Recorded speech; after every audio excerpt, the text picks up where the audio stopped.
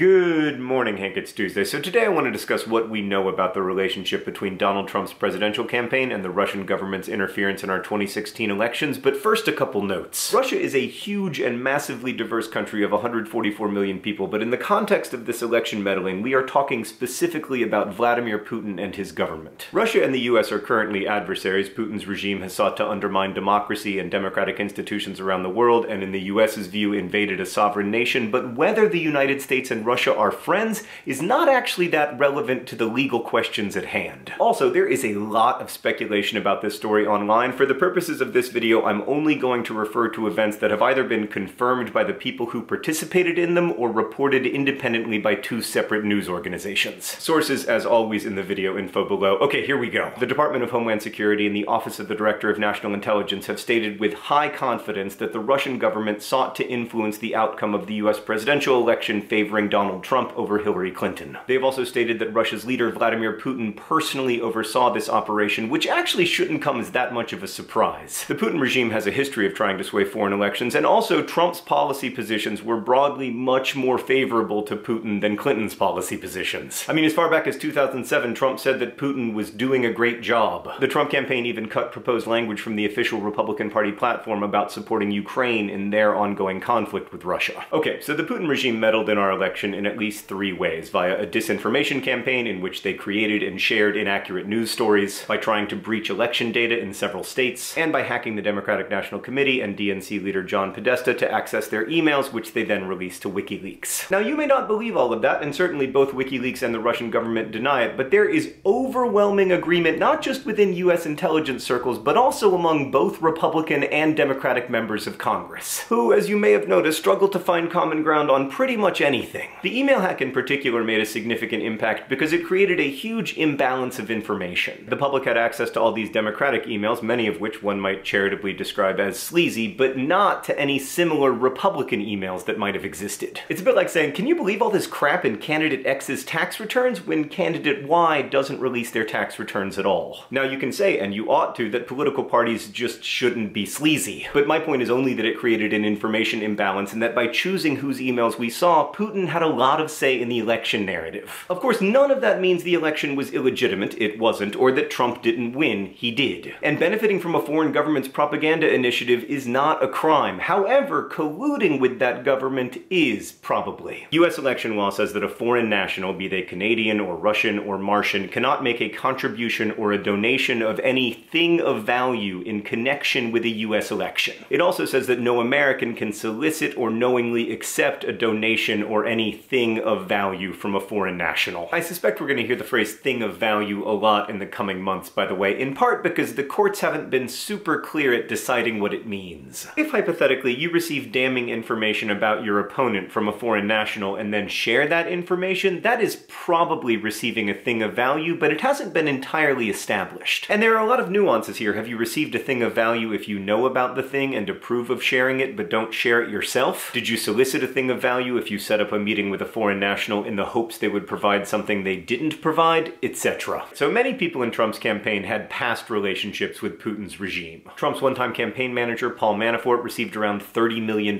working for Oleg Deripaska, who is seen as one of Putin's closest business confidants. Michael Caputo, an early Trump advisor, had previously worked on a Russian campaign to improve Putin's image among Americans. Trump's attorney general, Jeff Sessions, had to recuse himself from the Russia investigation after it was revealed he'd had previously undisclosed meetings with Sergei Kislyak, Russia's ambassador to the United States. And Michael Flynn, Trump's first national security advisor, failed to disclose payments that were made to him by an arm of the Russian government. And failure to disclose such payments is illegal for former military officers. Flynn also talked several times to Sergei Kislyak during the transition, the period after the election but before Trump became president. One of those calls occurred on December 29th, which happened to be the same day the US announced new sanctions on Russia. Flynn initially denied that he'd discussed sanctions on that call, but it became apparent that there was evidence to the contrary because Kislyak's calls are routinely monitored by US intelligence. Discussing sanctions policy on that call was possibly illegal. I mean, Flynn was not yet the national security advisor, but he was trying to negotiate foreign policy. But of greater concern is that the day after Trump learned that Flynn had lied about discussing sanctions, Trump asked FBI Director James Comey for loyalty. And then, the day after Flynn eventually resigned, Trump asked Comey to drop the Flynn investigation altogether. This is alarming because in the United States, the Justice Department and the FBI are supposed to operate independently from the White House. That's part of the reason FBI directors serve a 10-year term. They're supposed to be above party politics and not beholden to one particular leader. Trump asking Comey to drop the Flynn investigation was a significant breach of protocol. In fact, some have argued that it amounts to obstruction of justice, which is the charge that Richard Nixon was eventually impeached for. And then a few months later, Trump fired James Comey. Initially, the White House said the FBI director was being fired for his mishandling of the Hillary Clinton email case, but then, after a few days of trying on various justifications,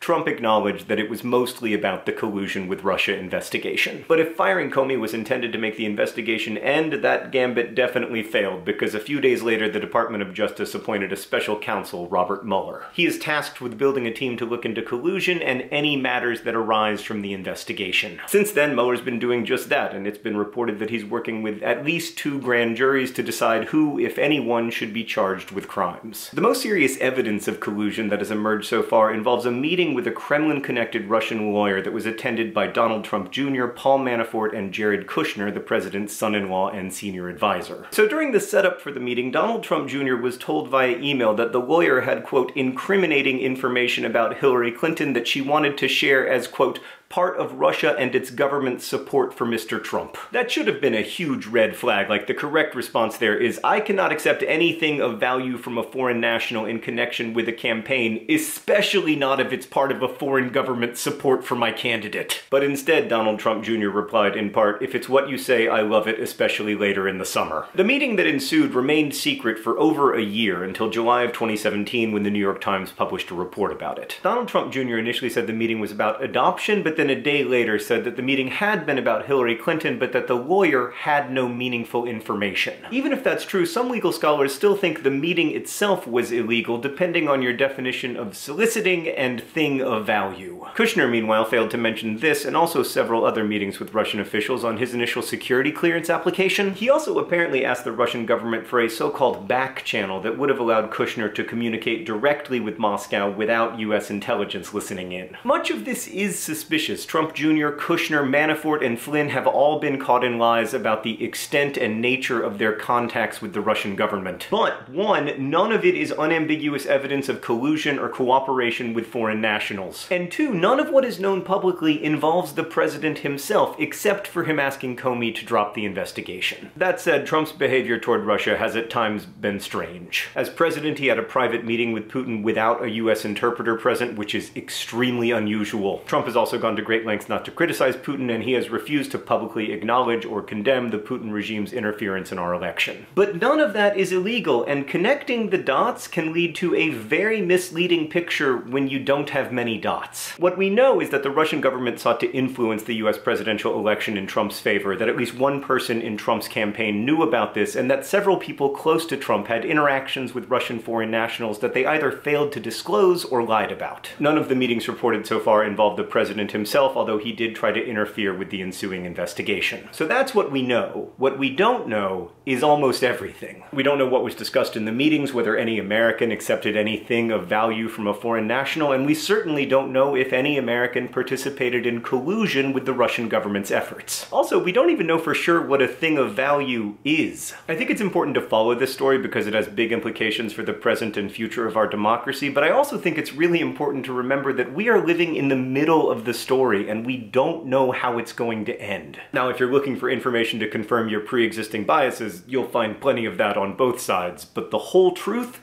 we just don't know that yet. I hope we will someday. Hank, I'll see you on Friday.